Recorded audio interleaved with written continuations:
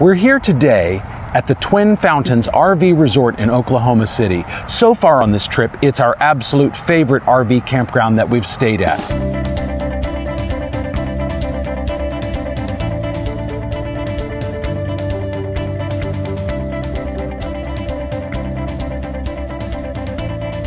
What do you think? I find it personally exciting due to the putt putt golf center they have, the swimming pool, hot tub for those traveling with kids is an added bonus. Plus, they offer a free limo shuttle ride to and from the Oklahoma City Zoo and Science Center. And did you mention the playground? I didn't mention the playground. All right, well, we can talk about it all day long, but let's show it to you.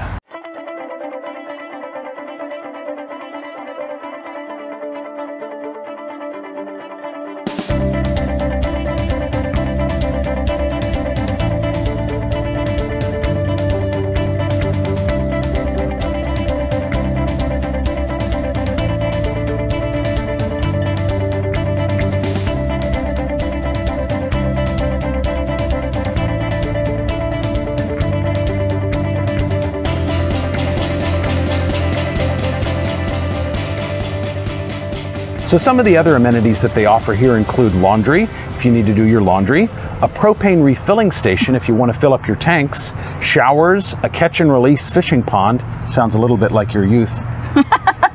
a storm shelter, after all, you are in Oklahoma, could be tornado time any time of the year.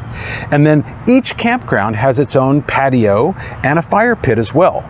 But then there's also a convenience store. And of course, every site that we've seen at least was a pull through with 50 amp service and full like septic and water service at your sites as well. And then of course, in addition to that, as Cassandra mentioned, there's a miniature golf course, a full-fledged miniature golf course right behind the main building.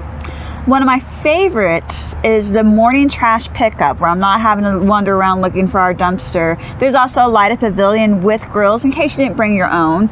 There's large bathroom facility, full hookups, and big rig friendly. There's a swimming pool which also has a hot tub for the parents who need a nice soak after a long drive. But for the kiddos, they offer a splash pad. There's also the Simplify Bar and Grill which opens at 5 p.m. with, you know, everyday Oklahoma food fare. It's a gated facility with a fitness center as well.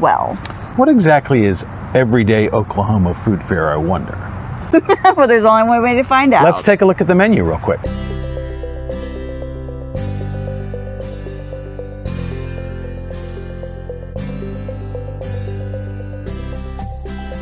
So now we've gone through all of the amenities, we've showed you the park, you know how pretty it is here. You know they've got lots of great features and amenities. I'm going to share with you my three beefs because I am a little picky and there are three things about this campground that I'm not crazy about.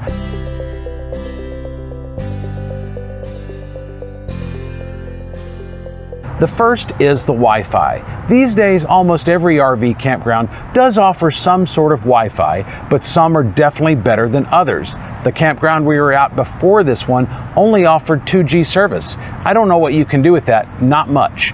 The Wi-Fi here on our first night, we stayed here two nights, the Wi-Fi was really good on that first night. We could stream, we could get on our laptops, the big girls could do their schoolwork, it was perfect. But then that evening, it got really spotty and inconsistent. Sometimes it wasn't on at all, and then the very next day, it barely worked at all. It was deathly slow. So that's my number one beef. Have good Wi-Fi service. Our RV is parked fairly close to the main headquarters. I'm assuming that's where their router is. These days, there's no excuse for campgrounds to not have probably multiple routers throughout the campground offering full stream service Wi-Fi. That way you can get on whatever device you want to get on. That's just the world we live in today, and there's not really an excuse not to offer that.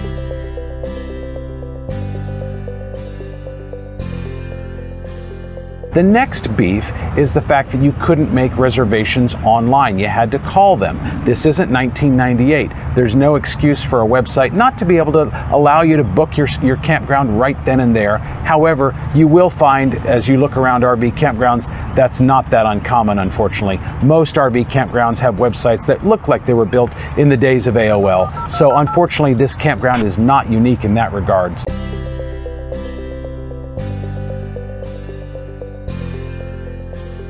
The last thing that I want to mention is the fact that the hot tub is not open.